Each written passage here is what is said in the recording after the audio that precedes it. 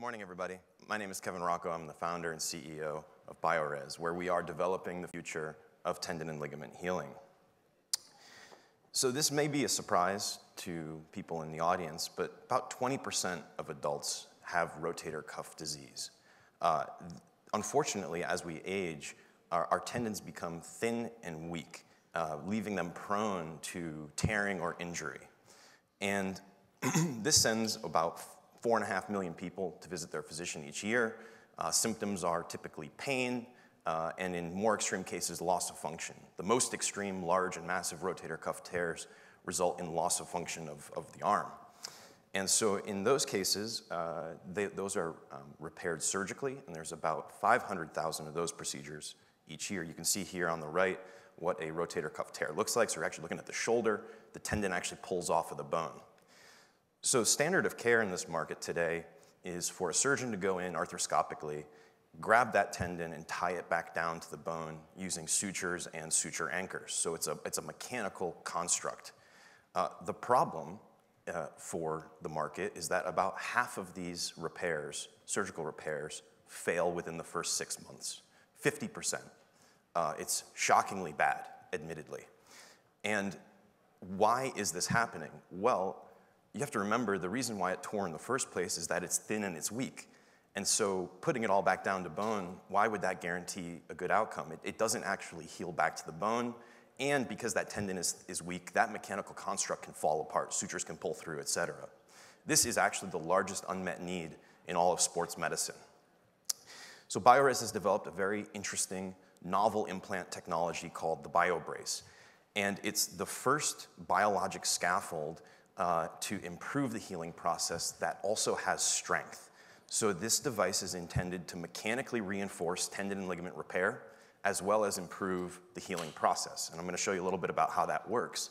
But the implant itself, where all of our intellectual property lies, is this novel biocomposite architecture. So we actually take a highly porous collagen sponge and we've embedded it with PLLA microfilaments. They're 15 micron in diameter. So you see on the uh, cross section there and look at it under a microscope, you have highly porous collagen sponge, resorbable fiber. And what that allows is cells can go right into that, use it as a scaffold to actually heal and regenerate new tissue, and the fibers provide strength and durability to the implant. And why that is such a big deal in this market is that it's the first product that can actually do both of these two things. The reason why these things fail, lack of healing and mechanical kind of integrity loss, the BioBrace can achieve reinforcement mechanically and improve the healing process. And this is a new paradigm. It's a new approach to rotator cuff. And what we're suggesting here is, in addition to completing the, the construct, the mechanical repair, you add a BioBrace at the time. No special instruments or hardware are needed. It plugs into existing workflow. And once the BioBrace is in the body, cells rapidly infiltrate into the scaffold, regenerating new, thicker, stronger tissue the BioBrace protects the repair as the patient does physical therapy, and then it's naturally resorbed. Uh, we've demonstrated this extensively in robust preclinical studies in sheep. What we're showing is that we get a rapid biologic integration into the implant. You're seeing all that pink is new tissue in the implant and on the surface. We measured this through MRI, showing that the tendon gets thicker.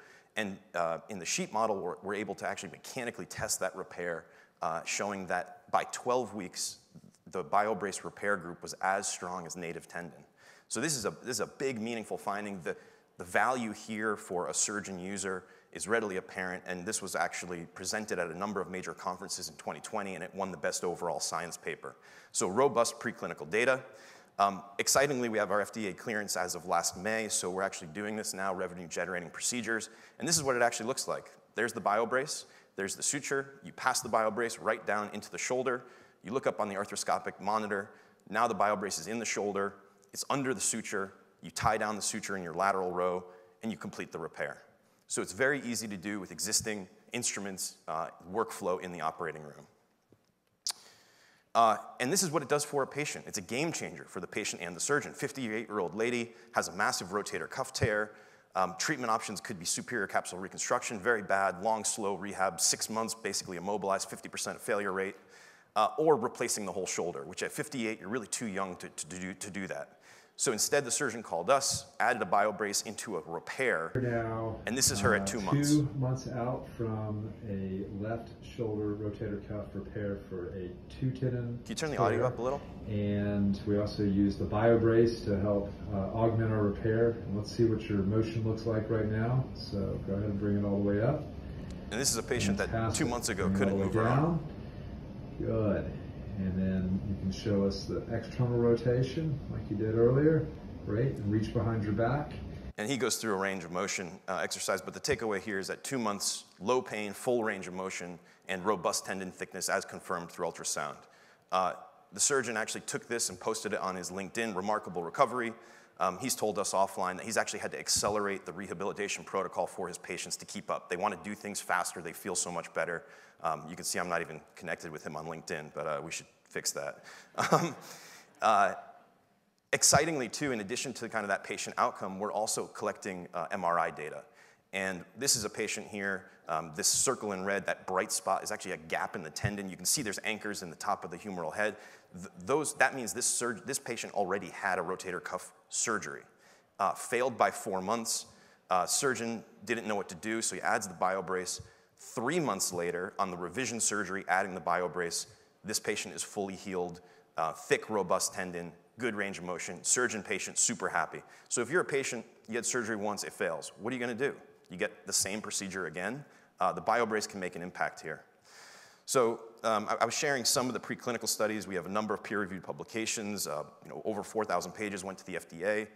Um, we're now in this process of collecting real-world clinical data, case reports, market surveillance, um, and excitingly, this year, as we make our way up this quality of evidence pyramid, uh, we're going to launch both a prospective registry to formalize that process and capture more data, uh, as well as start uh, prospective studies.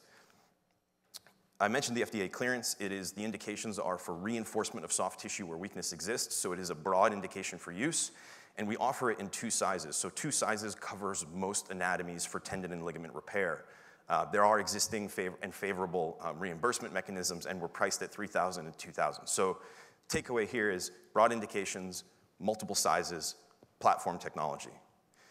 And we know that because in the first nine months of our clinical use, uh, while I focused on rotator cuff, about 50% of our cases are rotator cuff.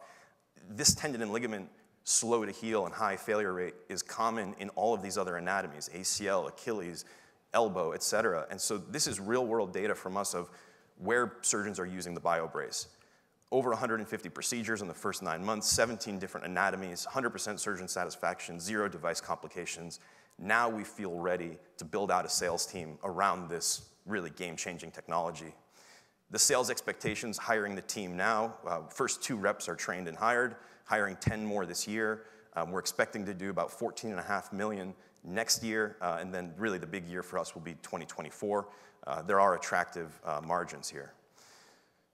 We've got a great management team, uh, a lot of experience, both small uh, and large medical device companies with expertise in sports medicine. Um, a number of folks involved in Rotation Medical, which was a, a similar technology a few years ago, and uh, put together an all-star uh, board of directors and advisory team, uh, some of the biggest names in sports medicine. I can't help but just brag a little bit. Uh, entertain me, please. Uh, last year, we exhibited at our first conference, uh, the AOSSM, which is the largest sports medicine society for, for medical doctors.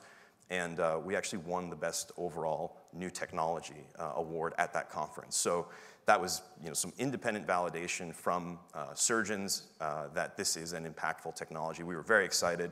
And for a tiny little company, it got us a lot of vis- visibility. So it's really been a catalyst to what, we, what we're doing, as well as some of that validation. So look, I shared this all already, but in conclusion, this is a massive, you know, unmet need in really that affects the fundamental well-being of your life. Uh, we have developed a really novel technology with the BioBrace. It's got great intellectual property around it. Um, we've got early positive clinical traction, early positive commercial traction, and now we're ready to scale this company up. So if Biorez, um, our financing and or our team are of interest to you, please come find us. Thank you for your time.